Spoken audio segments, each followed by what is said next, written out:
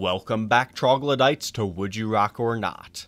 Today we're going to look at something that is being described as a Gibson Les Paul standard from 1979. That's a pre prehistoric.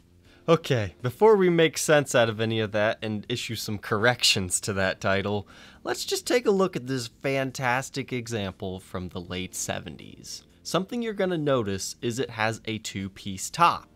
If you're not familiar with 70s Gibson history, this is mind blowing because this is the era where you will find anywhere between like three to five piece tops. I've even seen some crazy seven piece tops on rare occasion. However, it's not impossible to find, but the best way to rule out if it was just some crazy retop job and a refinish will lie on the back of the headstock.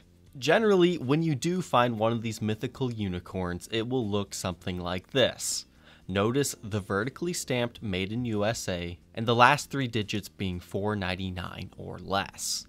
What does that mean? It means it was made in the original Kalamazoo factory, and they were known sometimes for just kicking out exceptional examples, built to resemble a little bit more of their 50s heritage.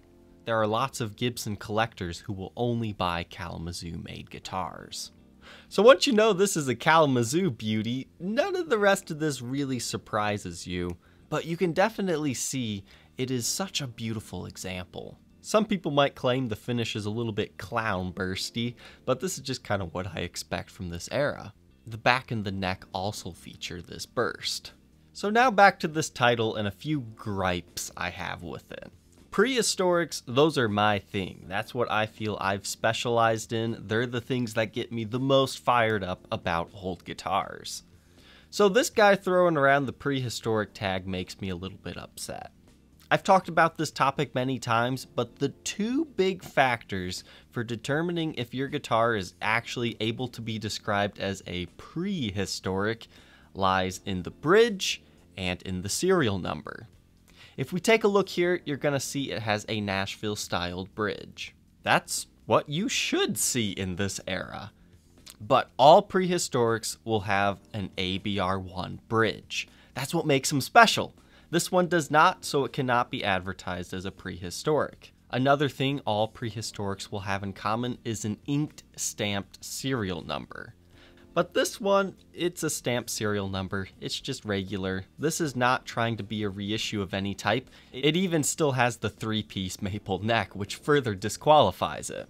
So while the seller might be a little bit confused as to what this guitar is, he is very right. This is a magnificent example that should bring in a premium at the market. However, he's asking $20,000, which is a little bit much since this is not necessarily a limited run of any sort. It might have been a custom order, but it could also just be something that Kalamazoo kicked out as we talked about earlier.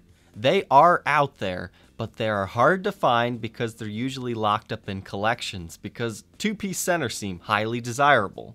Some other limited edition models made at this time with two-piece tops include my Super Standard, the Les Paul, Super Custom, but the one I really want to focus in on here is the Les Paul KM. What is interesting about these guitars is they are the only stock Gibson guitar to come with uncovered white T-top bobbined pickups. This is the model that got DiMarzio all in a kerfuffle and did that whole patent thing you will find other Gibson guitars with double cream like Tim Shaw's or Dirty Fingers, but this is the only T-top model.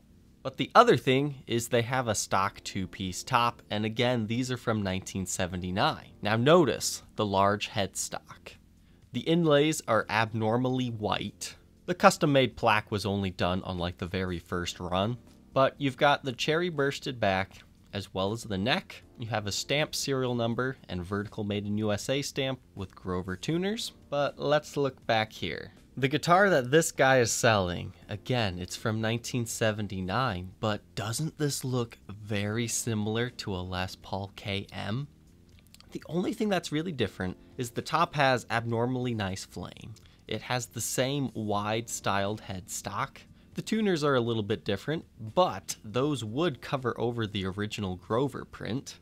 and maybe the pickups just got covers on them. Now that I've got your conspiracy tinglers going, no, it, it, was not a KM. That's not what I'm saying. I'm just letting you know if you want a guitar very similar to this, you might be able to find a KM with this kind of top. How do I know it's not a KM? It goes down to those inlays.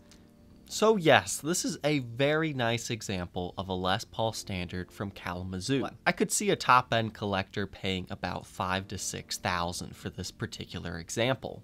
So for our playing demo today, I guess a Les Paul KM would be the closest to this guitar.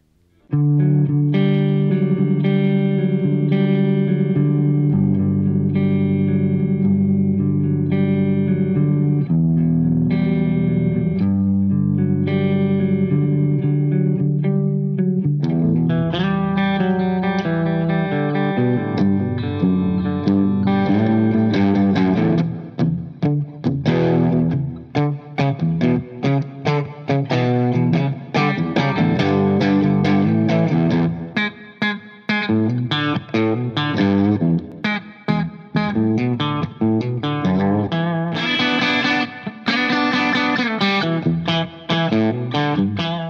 only question left would you rock this Les Paul Standard from 1979 with rare two piece center seam highly flamed top or not?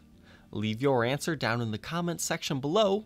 Don't forget to like, comment, and subscribe, and we will see you tomorrow on the next episode. Take care.